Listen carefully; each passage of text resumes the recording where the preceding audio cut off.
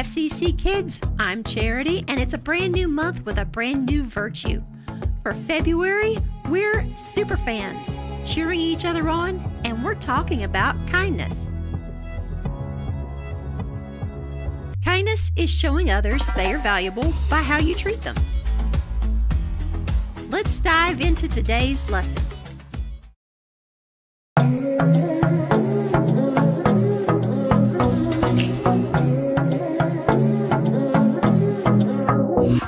Got a rhythm in my heart and in my soul.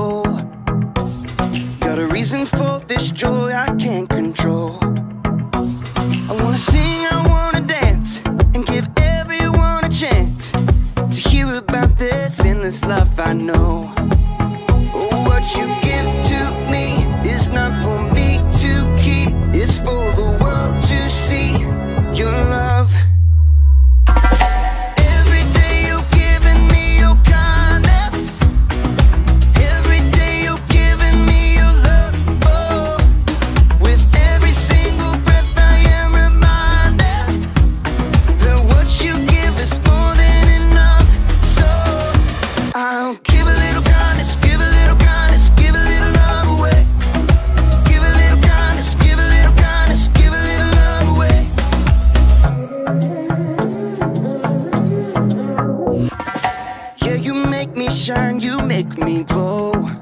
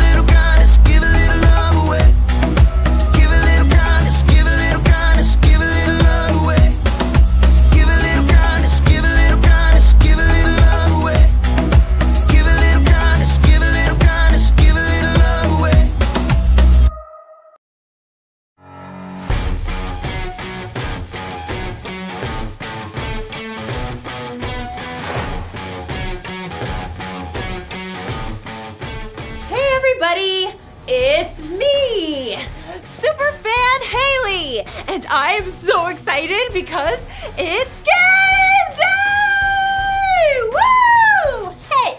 Please do pardon my exuberance. I tend to get a teensy weensy bit excited whenever I talk about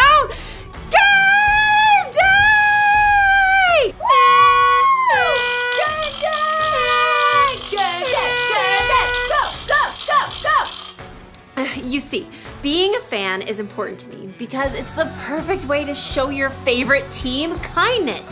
Kindness is showing others they are valuable by how you treat them. Being a super fan is how I show my team what they mean to me.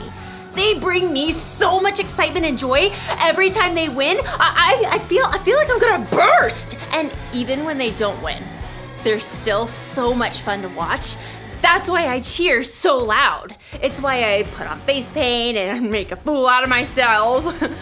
but kindness is bigger than just being a fan of a sports team. We should be kind to everyone. We should be fans of the people we see every day. Woohoo! Go everyday people! Way to be! Normal! Woo!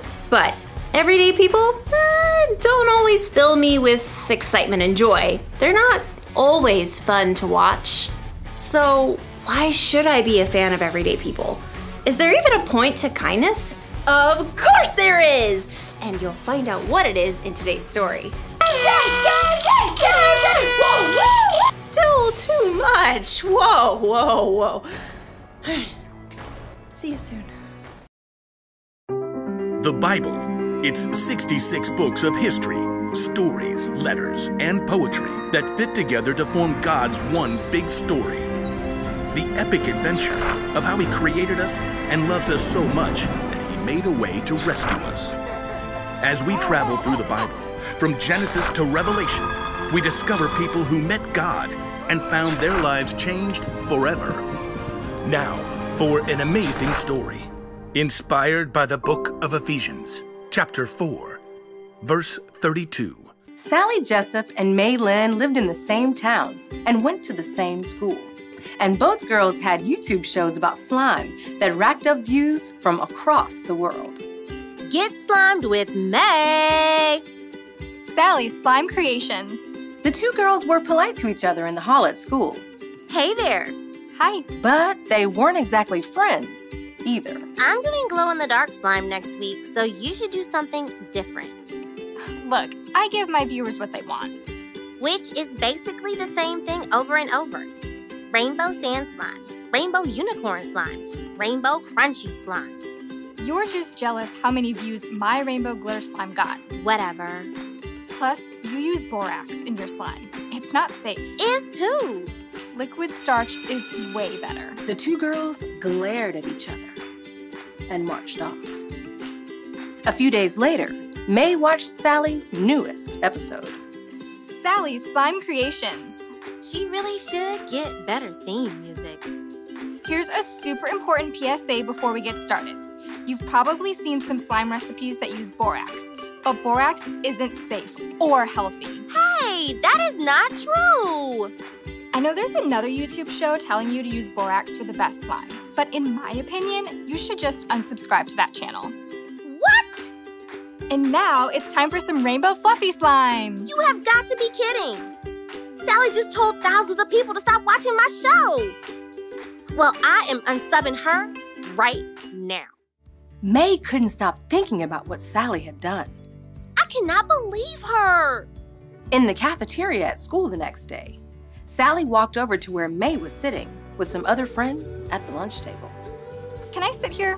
No way. She can't sit here. When Sally spilled her backpack at the lockers, Oh no. May pretended not to notice and marched right on past.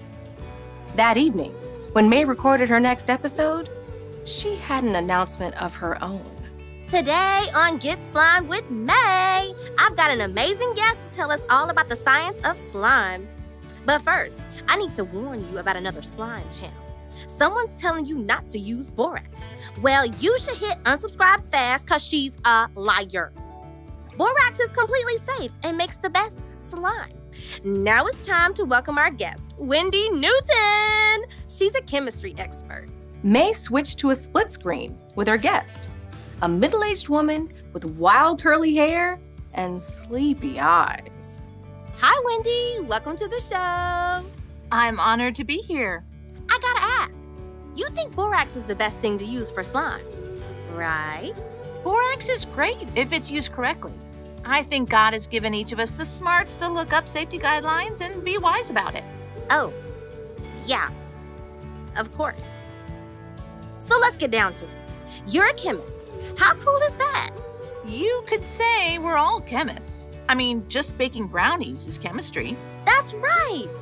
What kind of chemistry are you whipping up for your dinner? Oh, well, it's actually, uh, uh, uh 3 a.m. here. Wait, what? I'm in Dubai right now. But that's like halfway around the world, so it's night. I. Oh, I am so sorry. I woke you up. It's all right. You said that in your email. I forgot. It's okay, really. You're being so nice about it. Hey, kind is cool. There's this verse in the Bible from the book of Ephesians. It's kind of my motto Be kind and tender to one another, forgive one another, just as God forgave you because of what Christ has done. May frowned. She had to admit she wasn't always great at being kind when someone made her angry. Look, I've messed up so many times, and God has wiped the slate clean every single time. That makes it a lot easier to forgive when other people make mistakes. Like calling in the middle of the night? Hey, aren't we a little off topic from slime? Um, I think I'm gonna have to restart this recording. I said some stuff about someone else I need to delete. And how about I call you back in the morning? I mean, my morning, your afternoon. Hmm, hmm, that sounds fantastic. May leaned back in her chair and released a long breath. I haven't been very kind. At all. Even a little. Grabbing her phone, May started a DM to Sally. Hey, I'm sorry about the lunch table thing. I think Rainbow Slime is pretty cool. Maybe we should do a show together sometime. May wasn't sure how Sally would respond, but she did feel better knowing that she'd taken the steps toward being kind, instead of focusing on payback.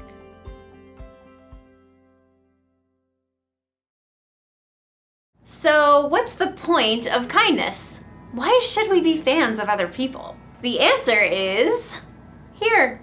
Ephesians 4:32. The apostle Paul wrote, "Be kind and tender to one another. Forgive one another just as God forgave you because of what Christ has done."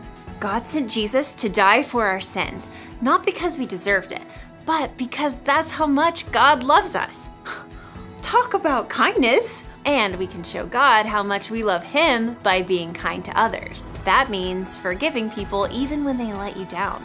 I forgive you for spilling grape juice all over my favorite shirt. I still love you. It means helping someone even when you're not told to. Whoa, whoa, whoa, don't move that refrigerator all by yourself. Let me help you out. Or I'll try to. Woo! And sometimes kindness means just being a fan. Thank you for packing my lunch for school. You make the best lunches. The one thing to remember today is this be kind to others because God is kind to you. Be fans of other people. Then every day can feel like.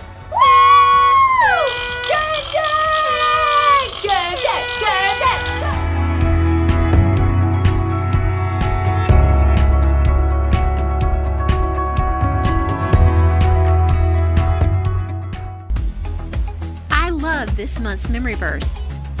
You are God's chosen people. You are holy and dearly loved. So put on tender mercy and kindness as if they were your clothes. Don't be proud, be gentle and patient. Colossians 3:12 NIRV.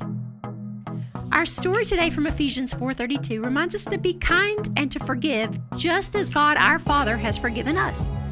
Wow, I mean, God forgives me a lot. I mess up all the time. And if He's willing to forgive me when I do something wrong, well, then I need to forgive others when they mess up too. In other words,